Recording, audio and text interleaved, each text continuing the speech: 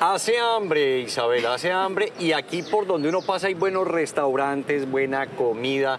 La gente súper atenta, los meseros lo atienden a uno espectacular.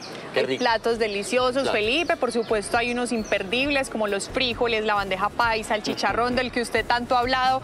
Pero dentro de lo tradicional, la oferta de Medellín gastronómica se ha ampliado y pues siempre es bueno uno probar como ¿De cositas todo? diferentes, de todo un poquito. Vamos a ver qué es lo nuevo. Y hay que estar abierto. ¿Qué comemos en Medellín? La bandeja paisa.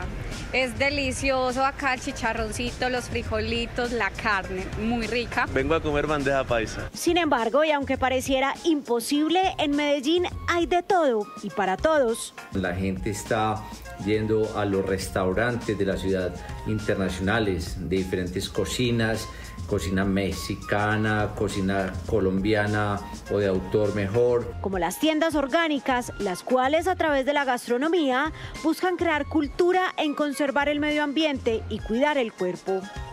Aquí hemos crecido mucho y cada vez la gente hace más conciencia de que debemos cuidarnos, cuidar nuestro cuerpo.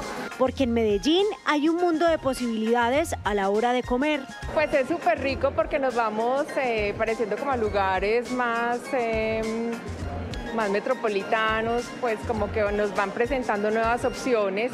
Pues yo pienso que es lo ideal porque le está abriendo la mente a todo el mundo. Y aunque la preferida siga siendo la bandeja paisa, el paladar de los paisas poco a poco se vuelve más exquisito.